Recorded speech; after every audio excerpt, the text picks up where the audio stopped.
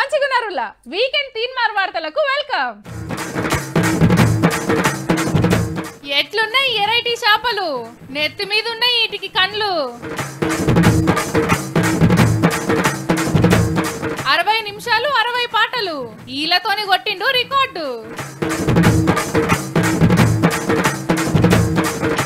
చెక్కతోని చెక్కిండు bullet అన్న పనితనం మస్తు గిరేటు.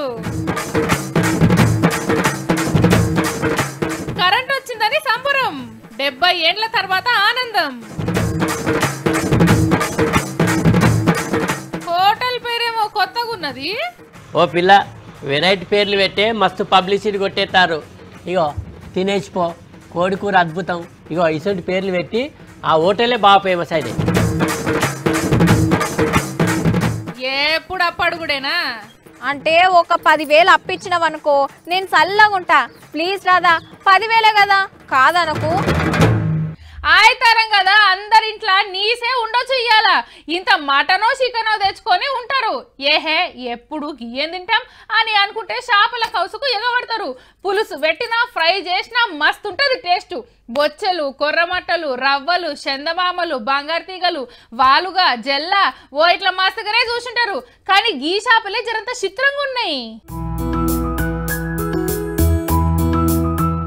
చేప పిల్లలు నీళ్ళ మీద ఎంత ముద్దుగా తిరుగుతున్నాయో కదా? ఏ ఊకే నీళ్ళల్లా అడుగుల ఏముంటామని అట్లా చల్లగాలికి బయటికి వచ్చినాయేమో అనుకునేరు. అవి ఉండుడే నీళ్ళ మీద తేలుంటాయట. కొర్రమట్ట లెక్కనే ఉన్నాయి కదా? కానీ వాటి కండ్లను పరీక్షబట్టి చూడుండ్రి. లెక్కకైతే చేపల కండ్లు సైడ్లకు ఉంటాయి ఈ వీటికి కండ్లు నెత్తి మీద ఉన్నాయి. అందుకే వీటిని పై కండ్ల చేపలు అంటారట. మహబూబ్ నగర్ జిల్లా సోమశిల దగ్గర కృష్ణా నదిలో గీ తీర్ల చక్కర్లు కొడుతున్నాయి చేపలు. జరసేపు చూద్దామని ఒడ్డు కూకున్నామంటే ఇక లేచుడు మనతోని కాదు.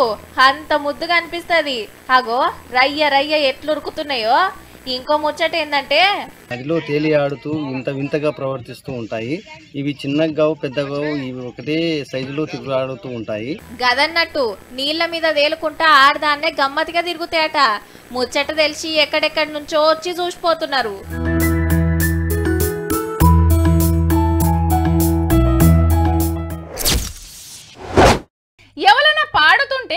డప్పు మీద దరు వేస్తారు. లేదంటే ఏదైనా డబ్బా మీదనో టిన్ను మీదనో ఆఖరికి పల్లెం బోర్లించైనా వాయిస్తారు.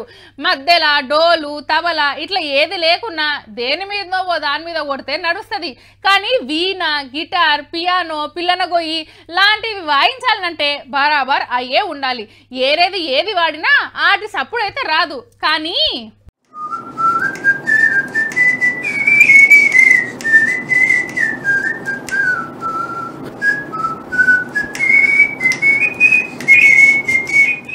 ఈలతోటి మస్తు వాడుతున్నాడులే పాట. పది కాదు ఇరవై కాదు. అరవై నిమిషాలు అరవై పాటలు ఆగకుండా వాడి రికార్డు కొట్టిండు. జర్ర షేపు ఈల కొడితేనే దౌడలు గుంజుతాయి. అసొంటిది ఆగకుండా గంట షేపు దంచిండు కాబట్టే వండర్ బుక్ రికార్డోళ్ళు పేరెక్కించుకొని పోయిండ్రు.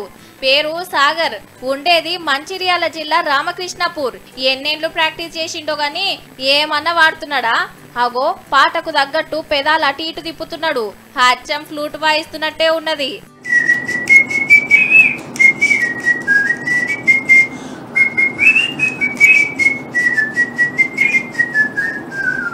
చిన్నప్పటికెళ్ళి ఈల పాట వాడు అలవాటట. దినం కొత్త కొత్త పాటలు ప్రాక్టీస్ చేసి ఇప్పుడు ఈల పాటల తోపు అనిపించుకున్నాడు. ఇప్పుడు అన్న ఈల పాట ఎవ్వలిన్నా సూపర్ అని విజిల్ వేయాల్సిందే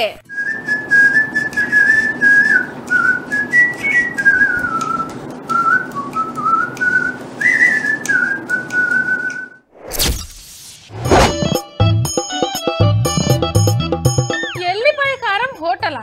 అవు వెళ్ళిపోయా కారం హోటలే. ఏం కావాలి? వచ్చి తినిపో. కమ్మ ఉంటుంది. ఏం తిన్నావు?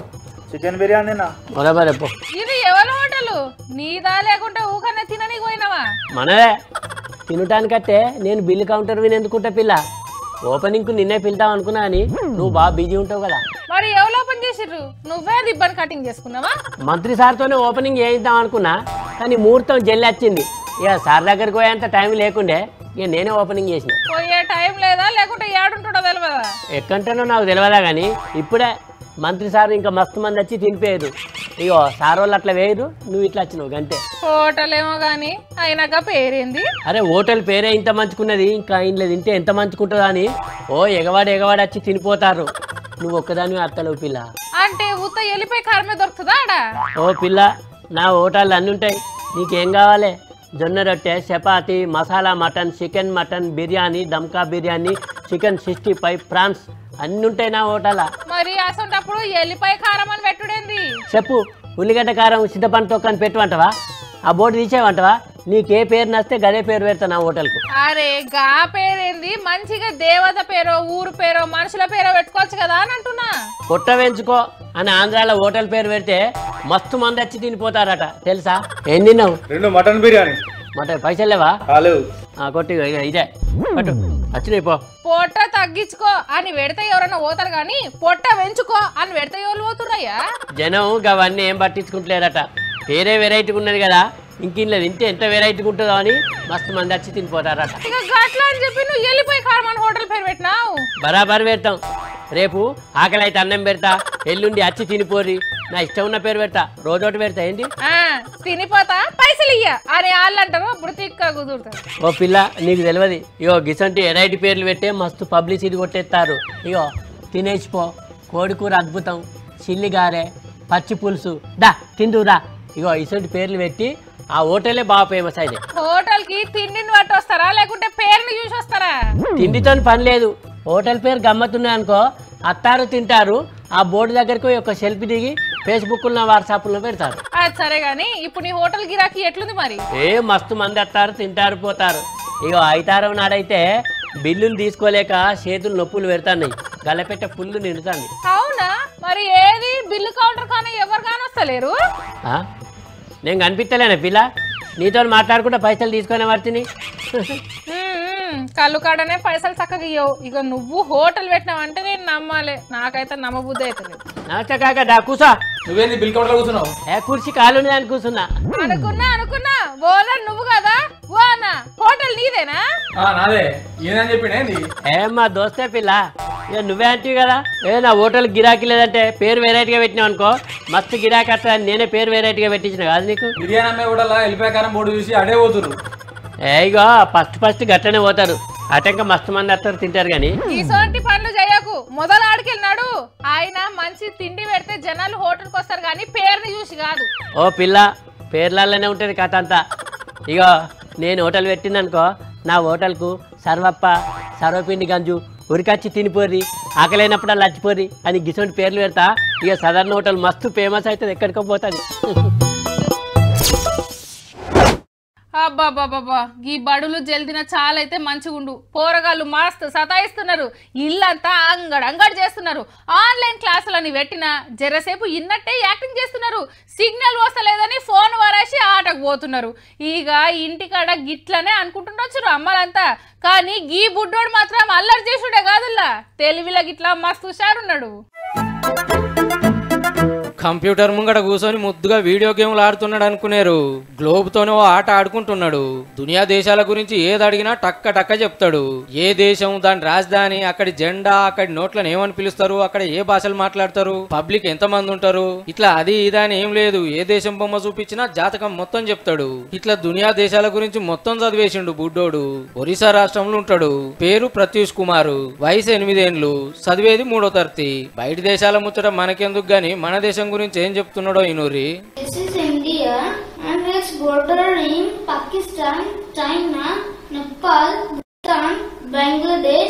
and Myanmar. And India's population is 1.3 billion. India చుట్టుముట్టు ఏ దేశాలు ఉన్నాయి ఆడ ఏమేమి వెరైటీలు ఉంటాయి అన్ని చెప్పుకొస్తున్నాడు. హాగో అట్లాస్ మీద కట్టబెట్టి దేశాలన్నీ చుట్టుకొస్తున్నాడు చిన్నోడు. పదో తరగతి పోరలకు కూడా కష్టమే చెప్పుడు. ఇప్పుడే గింత తెలివి సంపాదించిండంటే పెద్ద తోపే అయ్యేటట్టుండు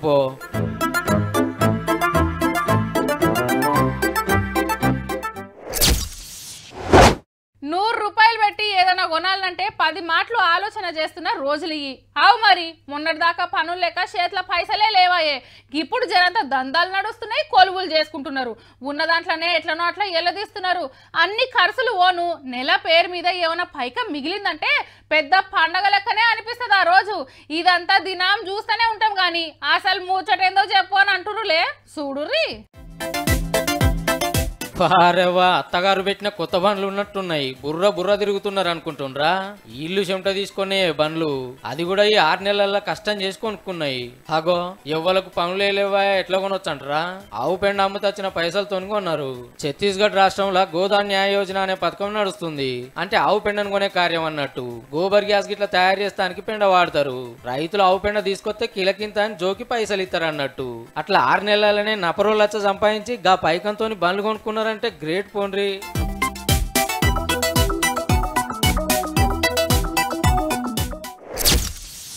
ఏం కాలం రా నాయన? అస్సలు అర్థమైతలే.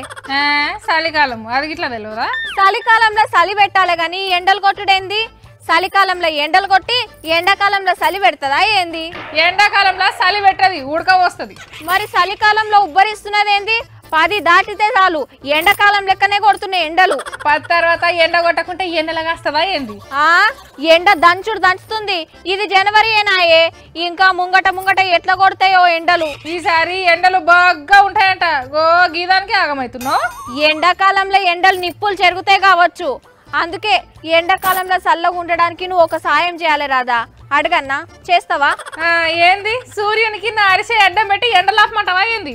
ఎండాకాలంలో చల్లగా ఉండేటట్టు చూడు. అంతే ఇంకా ఎక్కువేం కోరుకోను. నేను చల్లగా చూసుడేంది నేనేమన్నా వరాలు ఇచ్చే దేవతనా ఏంది? అంటే ఒక పదివేలు అప్పించినవనుకో నేను చల్లగా ఉంటా. ప్లీజ్ రాదా పదివేలే కదా. కాదనకు. నేను పదివేలు ఇస్తే నువ్వు చల్లగా ఎందుకుంటావు కూలర్ కొనుక్కుంటా కాబట్టి చల్లగా ఉంటా మరి ఆదశ చాలా మంచిది. ఇట్లా అడగంగానే అట్లా ఇచ్చేస్తుంది. మంచిగా ఉన్నావు నా తన రూపాయి గిట్ట లేదు. లేవమ్మా అంటే ఎట్లా? ఇప్పుడే కొనుక్కోవాలి కూలర్లు. మళ్ళా తర్వాత రేట్లు పెంచినా పెంచుతారు. చలికాలమే కొనాలి. నీ తన పైకం ఉంటే నువ్వు కొనుక్కో నా తనైతే లేవు. నా తానుంటే నిన్నెందుకు అడుగుతా? ఏమో ఆస్తి అంతా రాసిచ్చినట్టే ఫీల్ అవుతున్నావు. పదివేలకే లక్ష రూపాయలు అన్నట్టు చేస్తున్నావు. అప్పు ఇచ్చేటప్పుడు కాముని పండుగ తీసుకునేటప్పుడు దివిల పండుగ లెక్కనే ఉంటది. అరే నా దోస్తువే కదమ్మా. వచ్చేది ఎండాకాలము. అంటే ఉడుక్కుంటుండమంటవా? ఇంట్లో ఫ్యాన్ లేదా? ఫ్యాన్ వేసుకో. అబ్బో మాకు తెలియదు ఇక నువ్వే చెప్పాలి. ఉన్నది సక్కదనాల ఫ్యాన్ అని. కట్కేస్తే ఫ్యాన్ తిరగనే తిరగది. తిరిగినా ఆ సప్పుడుకి నిద్ర రాదు. మంచిగా ఉన్నది మరి నన్ను చేయమంటావు? నన్నేం చేయమనొద్దు. అటువో ఇటుర్కు అక్కడేం వార్త జరిగింది ఈడేం జరిగింది అని అడగొద్దు. నా కోసం చేస్తున్నావా? పెద్ద నన్ను అంటున్నావు ఏంది మరి? చలికాలంలోనే ఎండలు ఇట్లుంటే ఇక ఎండాకాలంలో ఇంకెట్లుంటది కావచ్చు? మాడలు మాడిపోతే కావచ్చు. ఈసారి ఆనలు గిట్ల బాగా కొట్టినాయి. చలి గిట్ల మస్తుగా పెట్టింది ఇక ఎండలు గిట్ల బాగానే కొడతాయి. అయితే నన్ను హిమాలయాలకు పంపి మరి. అక్కడైనా బతికేస్తా. హిమాలయాలకు పోనీకి మస్తు టైం ఉంది కానీ ఇప్పుడే కాదు. అయితే సిమ్లాకి పంపి. అక్కడ కూడా చల్లగా ఉంటది చలికాలంలోనే ఎండలు ఇట్లుంటే ఇక ఎండాకాలంలో ఎండలకు తట్టుకుంటామా? ఓ బగ్గ సానికి వచ్చినావు ఊర్లలో ఎండలకు కూలీ నాలికి పోయినప్పుడు యాదకు లేదా ఏంది? అబ్బో నువ్వు మాత్రం మంచిగా స్టూడియోలు ఉంటావు. నేను మాత్రం ఎండలో తిరగాలే. నాకే వచ్చినాయి తిప్పలు. మంచిగా ఉన్నది తిప్పలేదమ్మా తిప్పలు. జర పైలంగా ఉండాలి అంతే. ఎంత పైలంగున్నా అంతే. లెక్కకైతే మార్చిలో శివరాత్రికి శివ అనుకుంటా పోతుంది చలి. కానీ ఇప్పుడే చలి కథం చలికాలంలో ఇంతగానం ఎండలేందో ఏమో. ఇక ఎండాకాలంలో ఇంకెట్లుంటదో? అని ఇప్పటి సందే బుగ్గులు పెట్టుకుంది మా పద్మ. ఎండ దేవుడా జర మమ్మల్ని కర్ణించు నీ చల్లని సూపును మా తెలంగాణ మీద ఉంచు. నీకు పుణ్యం ఉంటది. ఈ నడుమ ఎవ్వరు చూడు డుగుడుగు బండ్లు వేసుకొనే తిరుగుతున్నారు. అంత దూరంలో ఉన్న ఫలానా బండి వస్తుంది అని ఉతగానే చెప్పొచ్చు. తక్కువ వస్తుంది మరి సప్పుడు. ఎంత పెద్దగా సప్పుడు వస్తే అంత గిరేట్ అన్నట్టు. మళ్ళా ఊరు కుడుసుతా తక్కువ ఊరుకుతాయి బండ్లు. ఓ పైసా అటు ఇటు అయినా మంచిదే కానీ బుల్లెట్ బండే కావాలి అని కాయి చేసేటోళ్ళు మాస్తు మంది ఉంటారు ఆ అందరూ ఒక ఎత్తు గీ అన్న ఇంకో ఎత్తు. ఎట్లున్నది బుల్లెట్ బండి? తాళం చేయితో రౌండ్ వేసేద్దాం అనుకుంటుండ్రా. బండి చాలు కాదు ముంగడికి పోదు. హౌ చెక్క బండి. గియాన్నే తయారు చేసిండు. కేరళ రాష్ట్రం మలప్పురంలో ఉంటాడు. పేరు జితిన్. ఒరిజినల్ బుల్లెట్ బండి లెక్కనే ఎంత ముద్దుగా చెక్కిండో కదా. పయ్యలు మడ్గర్లు హ్యాండిల్ పెట్రోల్ ట్యాంకి sign stand kick rod silencer seat. Engine గింజన్ మొత్తం చెక్కతోనే చేసిండు. ఒరిజినల్ బండిని చెక్క బండిని పక్క పక్కకు పెడితే ఏది డూప్లికేట్ బండో చెప్పాలంటే జర కష్టమే.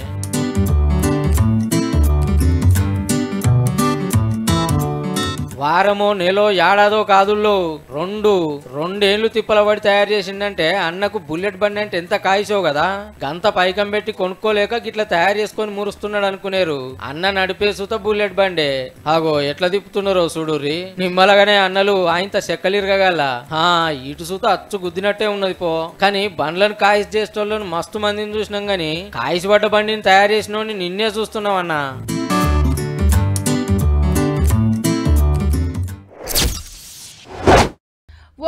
నిమిషం కరెంటు పోతేనే అబ్బా ఇప్పుడే తీయాలనా అని గులుగుతాం. ఇక రాత్రి పూట అయితే చెప్ప వసం కాదు అనుకోరాదుండ్రి అసొంటిది అసలు కరెంటే లేకపోతే ఇంకెట్లుంటుంది? వామ్మో తలుసుకుంటేనే బుగులైతున్నది కదా. కానీ వెనకట కరెంట్ ఎక్కడిది మొత్తం కాగడాలు గ్యాస్ నున్న దీపాలున్నాయి అయితే ఒక ఊర్లో నిన్న మొన్నటి దాకా గిట్లా వెనకటి కాలంలో ఉన్నట్టే ఉంటుండే. ఇప్పుడిప్పుడే ఎలుగులోకి వచ్చిందట గా కథ ఏందో అరుచుకుందాం పాన్రి రైట్. సారు స్విచ్ చేయంగానే బుగ్గెలిగింది. అందరు చప్పట్లు కొట్టిండ్రు. ఊరోళ్ళదైతే చిన్న సంబరం కాదు పో. ఐదా పద డెబ్బై డెబ్బై ఏండ్లయ్యే ఊరికి కరెంటు లేక. గా నడమ చూపించినాం కదా కాశ్మీర్లుండే గనౌరి టాంటా అనే ఊరు గురించి. మొత్తానికి ఆ ఊరికి కరెంటు పోలేసి బుగ్గలు పెట్టిండ్రు ఆఫీసర్లు. ఊరోళ్ళంతా గవర్నర్ సార్కు గోస చెప్పుకుంటే నెల రోజులల్లా ఊళ్ళే ఇంటింటికి బుగ్గలు ఎలగాలని ఆర్డర్ వేసిండట ఇకేముంది? ఆఫీసర్లు దబ్బ దబ్బ పనులు చేపించి పదిహేను రోజుల్లోనే పని కంప్లీట్ చేసిండ్రు. కలెక్టర్ సార్ వచ్చి కరెంట్ కట్కేసిండు అగో తమ్మనికున్న కరెంటు వైర్లకు అప్పుడే తీగలు దలిగేనే దలిగిచ్చిండ్రు. ఇన్నొద్దులు కరెంటు లేకుండా ఎట్లున్నారో గాని ఇప్పుడు మా ఇంటికి వెలుగొచ్చిందని మురిసిపోతున్నారు ఊరోళ్ళంతా.